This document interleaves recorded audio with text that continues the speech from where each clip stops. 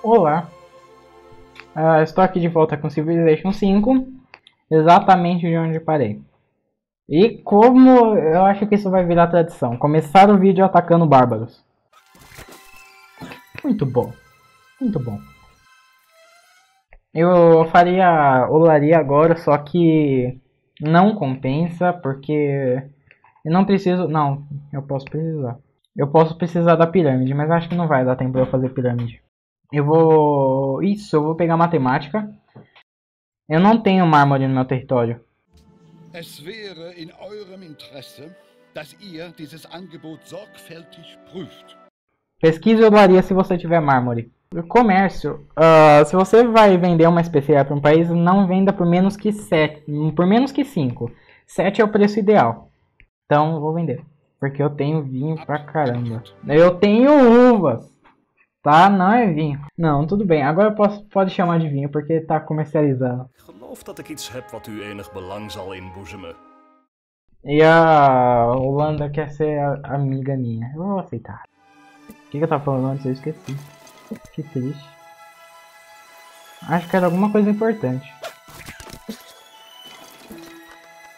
E já tem mais bárbaro querendo invadir. Sabe o que eu vou fazer? Eu vou ir até eles. É Bismarck entrou na Era Clássica. Era Clássica, se eu não me engano, a época que os romanos e os, os gregos... Essas civilizações que todo mundo conhece. Antes disso era Sumério. Quem conhece Sumério? Estão atacando minhas fazendas. Eles sentiram o cheiro da refinaria de vinho lá da floresta deles e decidiram atacar. E queimar tudo. Filho da mãe. Eles vão... Nossa. Que eles iam pegar meus trabalhadores. Eu vou, falando nisso, eu vou tirar meus trabalhadores daqui, né? Deixar a fazenda pela metade mesmo. E já tem mais bárbaro aqui de volta, não faz mal. Meu pai jogou, chegou a jogar Civilization, é, ele jogou do Xbox, que é o Civilization Revolution, e a tecnologia que ele mais gosta de fazer, fazer aqui, pesquisar, é matemática, porque libera catapulta. Quem não gosta de catapulta, né? É bem útil você investir em, em exército no Civilization Revolution, porque a guerra é sempre constante. Sempre constante. Eu acabei de inventar. Elizabeth entrou na era clássica. Ou, oh, os ingleses roubaram meu... meu, sei lá de quem que é isso ali, os bárbaros, de todo mundo já. Nossa, tá difícil esses... Tá, eu merda. Estão atacando de muitos lados, tá? E eu fiz merda. E de repente aparece um profeta. No meio da guerra aparece um profeta ali no meio. Imagina a cena. Uma cidade está sofrendo um cerco e aparece um profeta não, isso faz sentido, isso faz sentido. Pode parar de imaginar. Mas só continue imaginando se você achar engraçado. Eu achei engraçado. Acho que ninguém fez religião ainda, isso é muito bom. Quer dizer que tem uma escolha... Uma... Tem bastante escolha para fazer. Então aqui fundar uma religião, a França, acho que é catolicismo. Isso, isso, França é catolicismo. Uh, eu sei que o catolicismo não venera uma deusa dos festivais, mas... Isso é só nome, tá? É, o símbolo você que escolhe aqui e o nome dá para você clicar aqui e você muda o nome. As religiões que tem no jogo é budismo, catolicismo, confucianismo, hinduísmo, islamismo, judaísmo, ortodoxismo, protestantismo, shintoísmo, sim, eu não sei pronunciar isso aqui, acho que é sinkismo. É aqueles extremistas do hinduísmo, se não me engano. Taoísmo, tengrismo e zoroastrismo. Nossa, eu vou incorporar bem o catolicismo medieval aqui porque é bom. Uh, eu vou pegar aqui o dízimo. É dízimo mesmo, Taifeg dízimo. Que aumenta a produção de ouro a cada quatro seguidores da religião. Esse aqui é o bônus de quem, para quem está fundando a religião. Esse aqui é o bônus que vai receber quem, as cidades que estão seguindo. Pode ser cidade de outro país. Outros países vão seguir religiões. Porque só pode ser hum, é a metade das civilizações que só metade das civilizações que tem podem fundar religiões.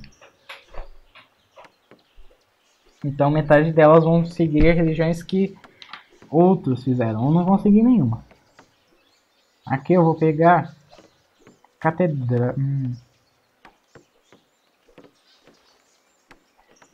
Monastério, isso. Monastério porque é o bônus vem de vinho e incenso. E que, que eles prezam vinho e incenso. Prezam. É um catolicismo fundado. Catolicismo fundado e eu estou em pleno 1280 a.C. Tá? Isso é uma grande conquista. Prever o futuro. Acho que o catolicismo foi fundado oficialmente no ano 30. Eu não tava lá. Então terminada a matemática. E eu vou pegar. Eu ia pegar a cavalaria, mas não tem cavalo nenhum ali perto. Isso é um fim do mundo maldito. Não tem cavalo.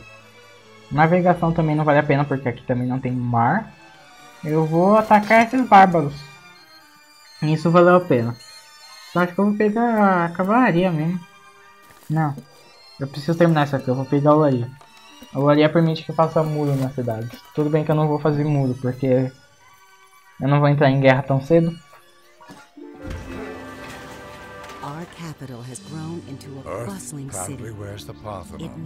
Nossa, começaram a falar todo mundo junto, até eu. Uh, terminaram Partenon.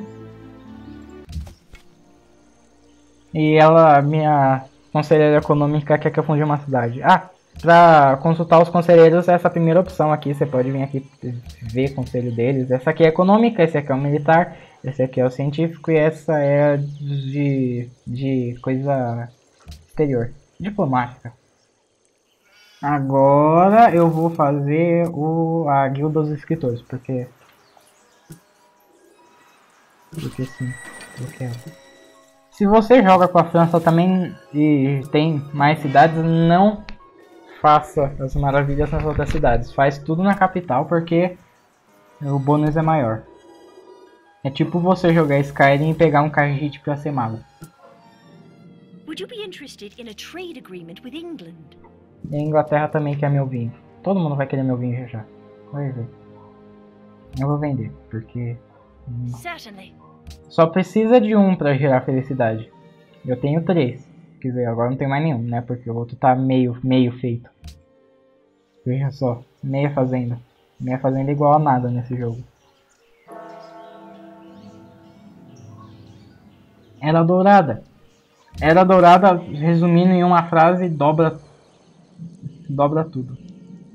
Não, para ser mais exato, ela faz que todo pedacinho de chão que você tiver produza um de dinheiro, aumenta a produção e a cultura. Isso é uma era dourada. Tem também uma outra versão, assim dizendo, da era dourada, que é o dia do rei. Cada cidade, quando ela atinge um certo potencial, ela pede um recurso. Se você conseguir fornecer esse recurso, seja comprando de outro país ou adquirindo por território, eles entram no dia do, do rei. No caso aqui, Paris está pedindo pérola. Se eu conseguir pérola, eles entram no dia do rei. Mas eu acho que não, não tem ninguém com pérola. Vale a pena ir atrás, deixa eu ver.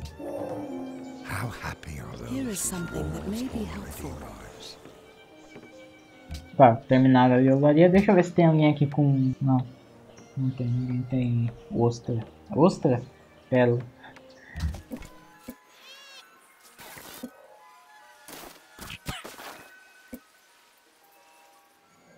Oh, aqui tem uma útil, construção. Construção eu gosto não pela parte de construção, mas porque tem esse arqueiro composto, que é, é um arqueiro só que melhor. Porque o arco desses arqueiros é, é meio duro. O do arqueiro composto ele puxa, vai mais para trás. A madeira dobra. Não sei se é de madeira, mas é melhor. Ó, note que quando eles atiram o arco não vai muito para trás. E os arqueiros que vou vir depois vai. Também libera o Coliseu. O Coliseu gera felicidade, é bom pra gerar felicidade. Vem a serralheria também, que faz as, as florestas serem mais úteis. A única coisa que eu não uso é o exército de terracota. Então saiu aqui mais uma lista. O, é outra que é pelo tanto de comida. Né? Foi a mesma que a primeira que saiu, se eu não me engano. E eu tô em primeiro ainda. Que bom. Vou começar a fazer o épico nacional. Deixa eu... Ó, não. Não, não, ainda não. Não, acabou de fazer a guilda dos escritores e a vez estava gerando escritor, mas acabaram de fazer.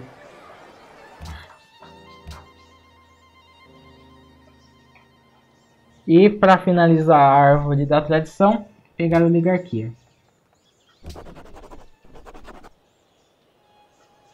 Fechou. Quando fecha a árvore de tradição, é...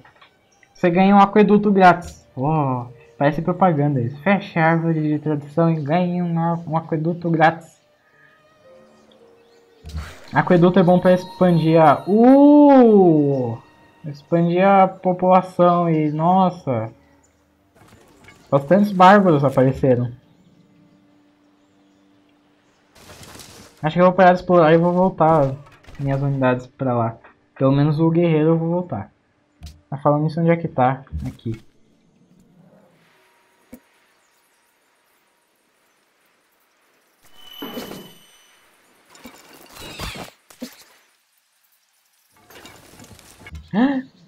Nossa, eu tirei os trabalhadores da cidade.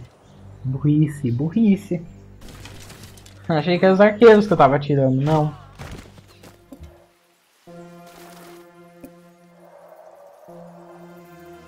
Olha o nome das cidades. Utrecht. Rotterdam. Amsterdã. Como dá pra ver, os outros países já tem várias cidades. Eu só tenho uma. Porque eu gosto de, no começo do jogo, até a era medieval, eu me concentro em uma cidade só. Aí no, na Idade Média essa cidade já estava suficiente evoluída para eu poder começar a fazer outras cidades. Aí eu começo a fazer outras cidades. Aí eu arraso na cidade. geloof dat ik iets heb wat u enig belang zal inboezemen. É bom você mandar a embaixada para eles antes porque aí quando eles vão pedir para você construir a embaixada deles, ah, eles oferecem mais dinheiro, às vezes. A Holanda era o país mais rico da Europa, eu acho que do mundo, talvez, na época lá de Napoleão. Napoleão? É. Não. Século XIX. Acho que ainda é. Deve ser. O país não empobrece tão fácil. Então, eu vou Acho que já, já foi suficiente pra... Não, eu vou esperar terminar ali a construção. É terminar o vídeo agora, mas não. Tem que terminar quando termina ali de pesquisarem alguma coisa.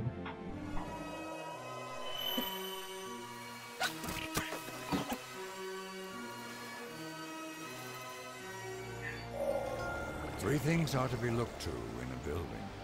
That it stand on the right spot, that it be securely founded, that it be successfully executed.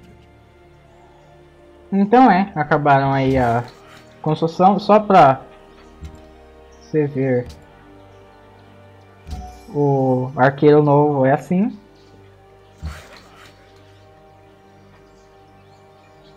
E ou é? Ah, tá. Então é. Uh, dê like no vídeo se você gostou. Inscreva-se no canal e, por favor, comente sugestões do que eu posso fazer, do que eu não estou fazendo, eu poderia fazer e dicas. Então é, muito obrigado por assistir.